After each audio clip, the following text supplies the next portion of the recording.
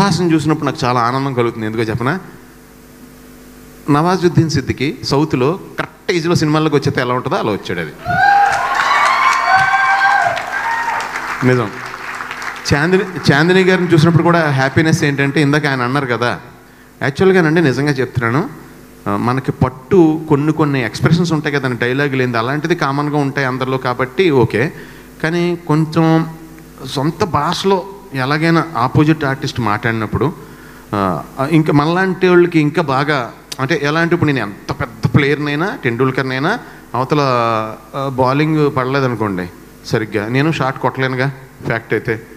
అంటే ఎవరో ఎవరో వేస్తే కొట్టలేనుగా షాట్. బాల్ కూడా కరెక్ట్గా పడితే అంటే ఆ రెస్పాన్స్ ఒక ఆర్టిస్ట్కి ఒక ఆరు నెలలు ఏడు నెలల్లో డైరెక్టరో రైటరో మొత్తం వీళ్ళందరూ కలిపి ఇంత బైండ్ అరేంజ్ చేసి లొకేషన్ తీసుకెళ్ళి తనకి చెప్పి అర్థమయ్యేలా చెప్పి తను చేయమన్నప్పుడు ఆపోజిట్ క్యారెక్టర్ కనుక మనకు ఇది రాలేదనుకోండి రెసిప్రొకేషను మంద కూడా తెలియకుండా మన ఫేస్లో కనపడుతూ ఉంటుంది. కొన్ని కొన్ని సినిమాలు నాయి కూడా చూస్తుంటే వాళ్ళు మాట్లాడుతుంటే నేను "ఆ, చెప్పేస్తున్నారా లేదా?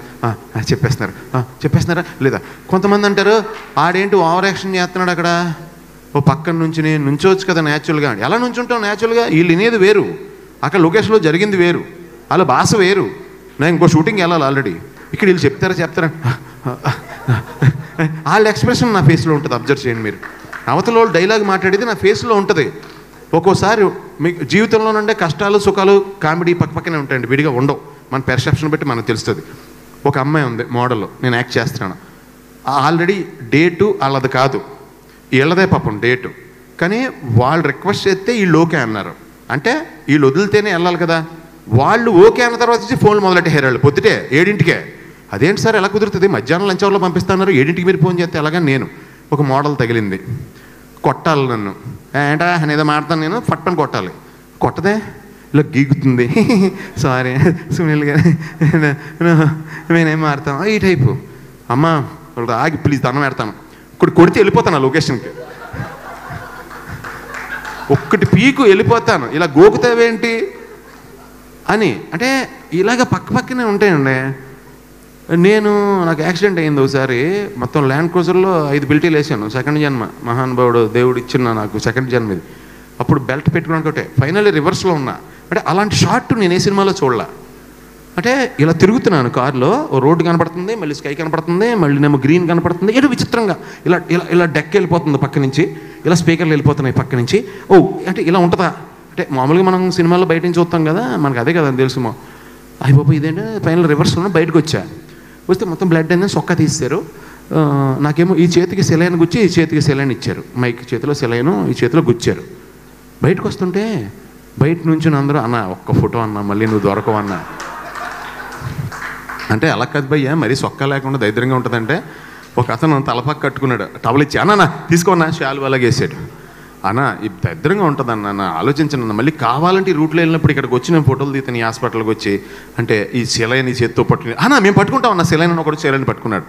అక్కడ దాకా టెన్షన్ ఏంటంటే మన చేతిలో సిలైను మన చేతికి సిలైన్ ఉండి మన చేతిలోనే సిలైన్ ఉంటే మన బాడీ టోటల్గా మూవ్ అవుతాయి రెండు మూవ్ అవుతాయి. నేను ఈడు ఎలా లాగేస్తున్నాడు అన్నయ్యను ఆడేమో ఆడిని వేరే వాళ్ళు దోహేస్తున్నారు ఇది ఊడిపోద్ది. రే రే నువ్వు పక్కన అంటే మీరు అబ్జర్వ్ చేస్తేనండి మన పెర్సెప్షన్ వేరు ఓరల్డ్ ఇదే. నిజమైతే నేను ఈ సినిమాలో నిజంగా వీళ్ళందరూ ఏదో అన్నారు కానీ ఇందాక నుంచి ఎస్కేఎన్ గారు కానీ మొత్తం వీళ్ళందరూ సందీప్ కానీ ఇలా ఈ- వీళ్ళ హృదయం అండి అది. ఈ సినిమాలో నిజంగా నా నేను క్యారెక్టర్ చేయడం నాకే అదృష్టం అండి. నిజం. ఈ క్యారెక్టర్ నేను చేయడం నా అదృష్టం. దేవుడు నాకు ఇచ్చిన అవకాశం. భయ్యా నీకు కూడా నిజం చెప్తున్నాను భయ్యా. చాలా టాలెంటెడ్ యాక్టర్ నువ్వు. ఎస్పెషల్లీ నేను ఫేవరెట్ నీ వాయిస్కే.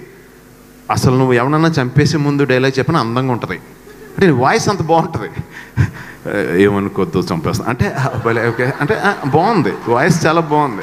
నిజంగా ఆ, అన్నీ తీసుకోబయ్యా సక్సెస్ ఎంజాయ్ చెయ్యి. కెరీర్ మట్టుకు అసలు ఎంజాయ్ చేయొద్దు నువ్వు చెయ్యవు. నీ నా- నాకు నేను చెప్పాలి బాధ్యత కాబట్టి చెప్తున్నా. సక్సెస్ఫుల్గా ఎంజాయ్ చేయి కెరీర్ ఎంజాయ్ చేయొద్దు ఈ రోడ్డు దాటిన తర్వాత మళ్ళీ మర్చిపో అంతే.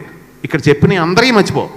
అది డిలీట్ డిలీట్ అనేది మెయిన్. ఎందుకంటే మెయిన్లో ఎంత హార్డ్ డిస్క్ క్లీన్గా ఉంటే అంత మంచి ఐడియాస్ వస్తాయంట. అందుకని ఈ మాట చెప్పాను.